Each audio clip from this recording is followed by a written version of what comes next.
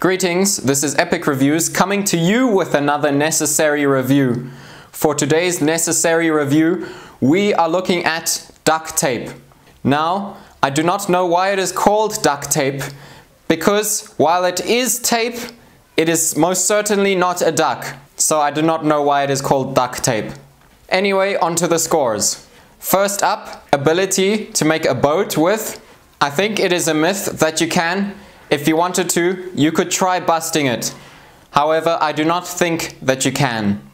Next up, quality. It is not a very high quality product. There are obvious quality problems with it. There is some damage to the inner wall and there are some wrinkles. Finally, would I recommend this product? No, I would not. The obvious quality problems are mainly to blame. I would not recommend buying duck tape. 1 out of 10.